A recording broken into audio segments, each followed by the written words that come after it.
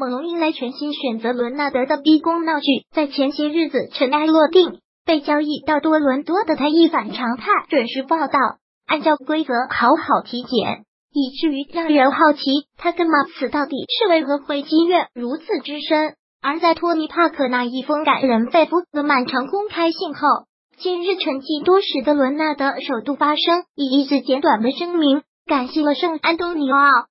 过去几周时间，我一直在思考该说些什么，而这最终只化作两个字：谢谢。我和我的家人们想向马刺队以及圣安东尼奥球迷们表达谢意。伦纳德的公开信，谢谢这七年来跟我并肩奋战的每一位队友，谢谢你波多，我对你的指导永远心存感激。谢谢所有的球迷们，你们是我见过最热情、最投入的球迷群体。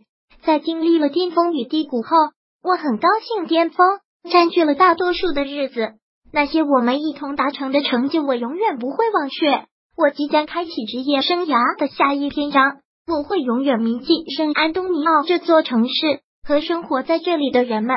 谢谢你们。格林泰谈伦纳德值得一提的是，昨日一同被交易到猛龙的达米格林在播客频道中谈到对伦纳德选择沉默应对离队风波的看法。我不认为他的做法搞砸了事情。